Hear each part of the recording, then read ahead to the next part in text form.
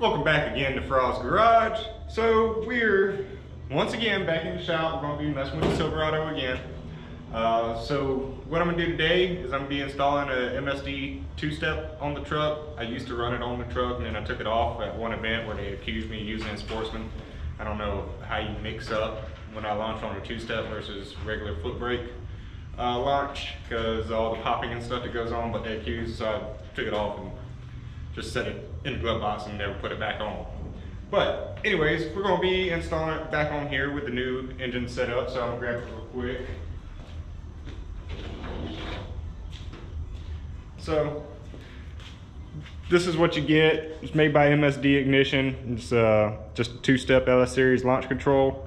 That's the part number right there for you if you want to pick one up. So pretty much plug and play setup. It's going, you're to have these two connectors that go to your coils, like in between your coils and your engine harness. And then uh, the only wire you will have to run is a feed from your brake pedal. So that way it knows when you're on the brake. So I'm gonna go ahead, go up underneath the dash, and we're gonna slap this on. First thing we're gonna have to do is we're gonna have to get this uh, hood off and set it to the side so I can get it mounted on the firewall where I want it. So let's pop that off real quick.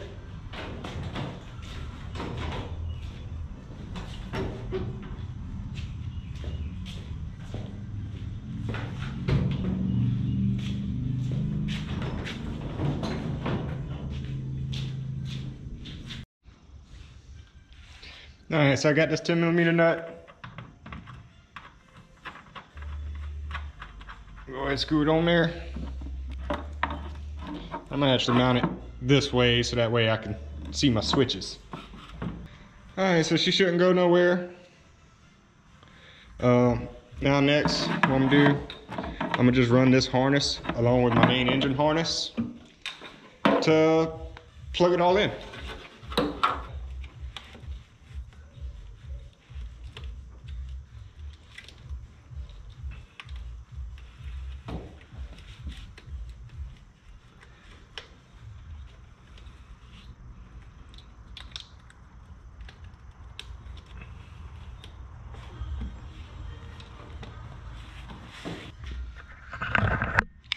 All right, so she's all hooked in. Like I said, it just plugs in there and then your engine harness plugs into it.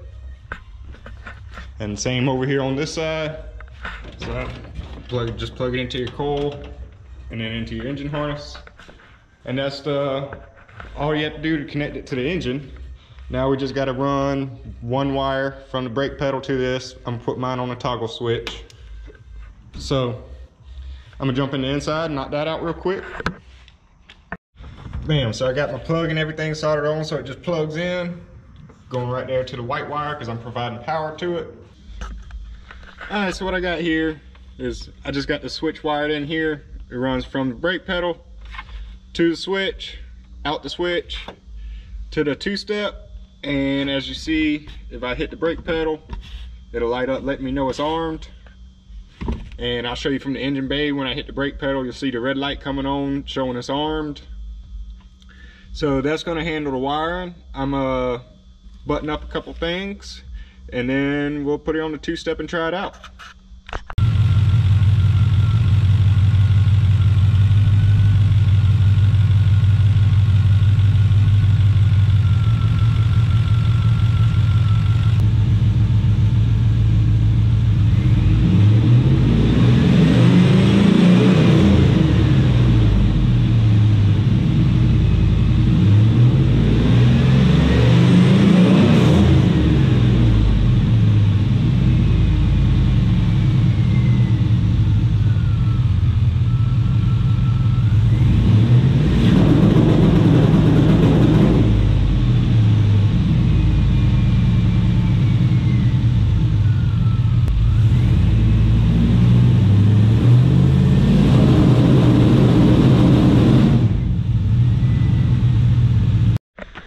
Okay guys, so she is in there, she is working like she's supposed to. Uh, I love the sound of a two-step, but uh, yeah, we're about to hit the track now, so you're about to see some two-step launches at the track.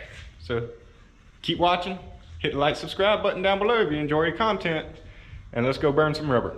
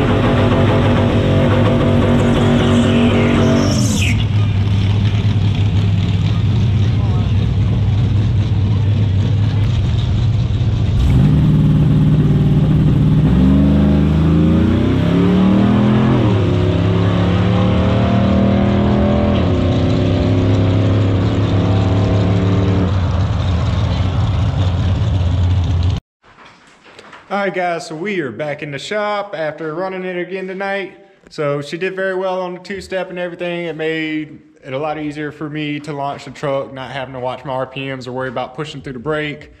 Uh, got some good news and some bad news uh, for the truck. So good news is she has now run a new personal best. We'll pull out the one from this past week from Bowman off the back wall. So this was my last personal best where I went 834 with a six out at Bowman. Uh, as you see, me being able to launch full throttle on a two-step now, it cut down my 60 foot by a good bit. So my previous best 60 was a 1878 and my new best is a 1828. So knocked down 500s just off the 60 foot by being able to launch full throttle off the two-step. So that's good. And like I said, we picked up 1200s total. That's normally how it works out that whatever I knock off the 60 foot normally doubles by the end of the track.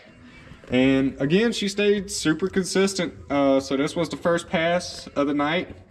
And we had uh, storms coming in or whatever, so the humidity was climbing and everything with the weather uh, that was coming in.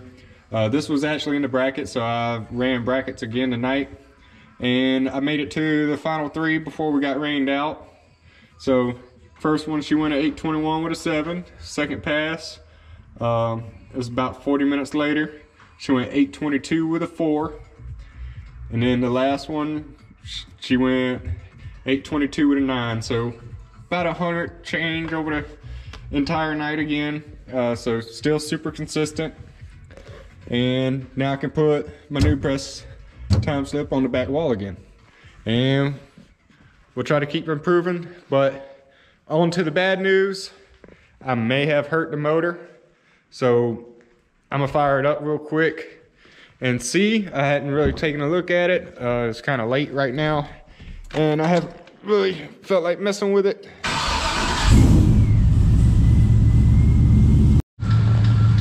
So, I don't know how well you can hear it, but hopefully you can hear it. She's got, I don't think it's a rod knock, but definitely some kind of tapping or something going on. So maybe it's collapsed lifter or something like that. Um, hopefully it's something simple, maybe a torque converter bolt backed out or something, I don't know. But uh, like I said, I ain't gonna mess with it tonight. It's like two something a.m. in the morning. So that's pretty much gonna wrap up this video.